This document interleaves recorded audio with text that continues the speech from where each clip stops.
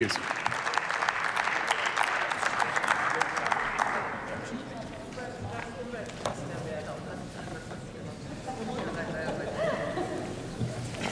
Herr Präsident, meine Damen und Herren!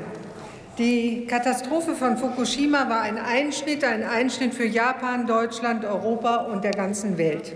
Damals passierte in einem technologisch hochentwickelten Land etwas, was nach allen wissenschaftlichen Maßstäben für unmöglich gehalten wurde. Deutschland hat daraus seine Lehren gezogen. Die Restrisiken, die mit der Kernenergienutzung verbunden sind, wurden neu bewertet. Der Ausstieg mit Augenmaß aus der Kernenergie wurde eingeleitet und wird 2022 abgeschlossen sein. Die Energieerzeugung aus Kernkraft wird in Deutschland also bald der Vergangenheit angehören. Das ist erst einmal Fakt. Meine Damen und Herren, wir dürfen die Augen aber auch nicht vor den Realitäten verschließen. Wir sollten uns ehrlich machen. Andere Länder, auch in Europa, setzen weiterhin auf Kernenergie. Es ist sehr schwierig, von Deutschland aus die Sicherheit grenznaher Reaktoren in Frankreich, Belgien, Tschechien und der Schweiz zu beurteilen. Der Grund ist, dass allein den nationalen Aufsichtsbehörden die vollständigen Informationen über die Verhältnisse vor Ort vorliegen. Dass Menschen zum Beispiel in der Region Aachen in großer Sorge sind, kann ich sehr gut verstehen und auch nachvollziehen. Diese Sorgen und Ängste aber zu politischen Zwecken zu instrumentalisieren und zu befeuern, halte ich für inakzeptabel. Richtig ist, dass die Zusammenarbeit mit unseren Nachbarländern intensiviert worden ist. So zum Beispiel die deutsch-belgische Nuklearkommission, die sich zuletzt intensiv mit den Vorkommnissen in den Reaktoren Dole 3 und Tihange 2 beschäftigt hat. Im Auftrag des Umwelt des Bundesumweltministeriums wurde die Reaktorsicherheitskommission beauftragt, zu prüfen, ob die Sicherheitsnachweise für die Reaktordruckbehälter der Atomkraft Dohl 3 und Tihange 2 plausibel geführt worden sind. Und die Reaktorsicherheitskommission hat dies bestätigt. Auch wenn das manchem hier in diesem Hohen Hause nicht in den Kram passt, aber die Einschätzung dieser Fachleute gehört zur Meinungsbildung. Die Unionsfraktion unterstützt die Vorgehensweise der Bundesregierung, den bilateralen Gesprächsfaden mit unseren europäischen Nachbarn nicht abreißen zu lassen.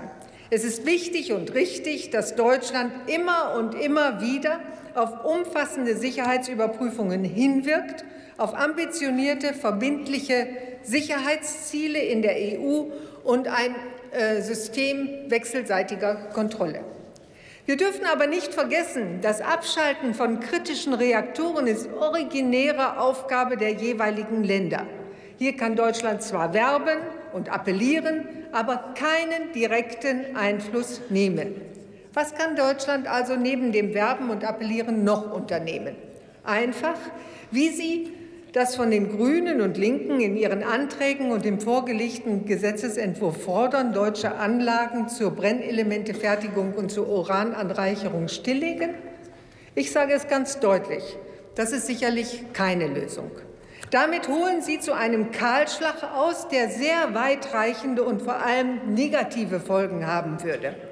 Diese Folgen wurden in der öffentlichen Anhörung im Umweltausschuss im Oktober des letzten Jahres offensichtlich. Erstens wird es zu einem massiven Vertrauensverlust für Deutschland führen. Ein Ausstieg aus der fast 50-jährigen Zusammenarbeit mit den Niederlanden und Großbritannien sowie die einseitige Beendigung völkerrechtlicher Vereinbarungen würden das Vertrauen in Deutschland zerstören. Auch die langfristig eingegangenen Lieferverträge der Unternehmen dürfen nicht, äh, nicht vergessen werden. Wer hier aus politischen Gründen eingreift, zahlt Entschädigungen und die kosten das Geld der Steuerzahler. Klar ist ebenso, Material, das nicht in Deutschland produziert wird, wird garantiert in anderen Ländern von anderen Anbietern hergestellt, womöglich sogar in Ländern, wo die Standards in puncto Sicherheit nicht so ausgeprägt sind wie bei uns. Was ist also der Mehrwert? Zweitens. Würde Frau eine Frau Kollegin, gestatten Sie eine Zwischenfrage? Nein, bitte jetzt nicht. Zweitens würde eine Stilllegung der Anlagen zum Verlust des Know-hows führen. Das Abschalten der Anlagen in Gronau und Lingen würde uns den letzten Rest an Kompetenz im Bereich Kernkraft berauben.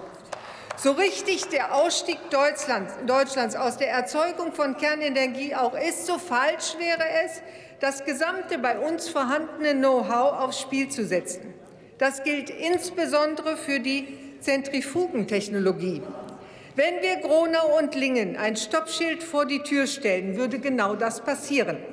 Um den in Jahrzehnten in Deutschland aufgebauten sicherheitstechnischen Sachverstand auf höchstem Niveau zu halten, ist aus unserer Sicht zweierlei notwendig. Zum einen die Forschung und Lehre in Deutschland zu erhalten, zum anderen die Entsendung von deutschen Experten in Anlagen im Ausland. Dadurch erhält Deutschland einen Erfahrungsrückfluss. Des Weiteren ist die Beschäftigung mit Neubauprojekten im Ausland unerlässlich, um durch die Befassung mit neuen Anlagenkonzepten die Weiterentwicklung der Technik verfolgen zu können. Wie soll Deutschland beispielsweise sonst neue Reaktortypen bewerten, wenn unsere Fachleute nicht die notwendigen Kenntnisse darüber haben? Das gilt beispielsweise auch für den in Belgien geplanten Reaktor zur Transmutation.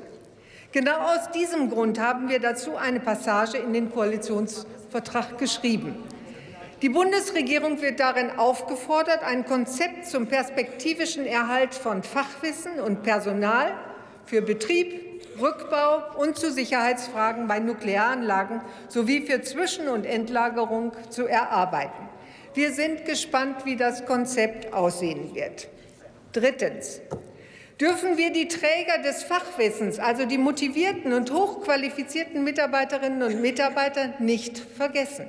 Sie sind Wissensträger, sie sind Verantwortungsträger und sie können die ständig von den Linken und Grünen entfachten Diskussionen über die Zukunft ihrer Jobs nicht mehr hören. Sie sind es leid. Fragen Sie doch mal den Betriebsrat des Urenco-Standorts in Deutschland. Da werden Sie eindeutige und klare Antworten bekommen, was die Menschen von Ihren Vorschlägen halten. Und viertens und zuletzt ist durch die Schließung der Anlagen die internationale Mitbestimmung Deutschlands in Sicherheitsfragen in Gefahr. Hier geht es insbesondere um die Mitwirkung in der Internationalen Atomenergieorganisation. Die internationalen Sicherheitsstandards werden hier festgelegt. Wer hier nicht mitspricht oder mitsprechen kann, lässt Chancen liegen. Wir hatten dazu in der Anhörung Friedrich Däuble, ein ehemaliger ständiger Vertreter Deutschlands in der Atomenergieorganisation IAEO und den Vereinten Nationen, und der hat bei der offen, äh, öffentlichen Anhörung das sehr deutlich gesagt. Also wir lehnen die Anträge und den Gesetzentwurf ab. Vielen Dank. Vielen Dank. Der Kollege Grischer erhält Gelegenheit.